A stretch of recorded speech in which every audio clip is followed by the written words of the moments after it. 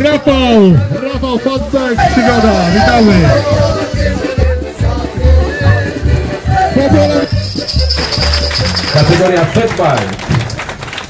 Zwyciężczynie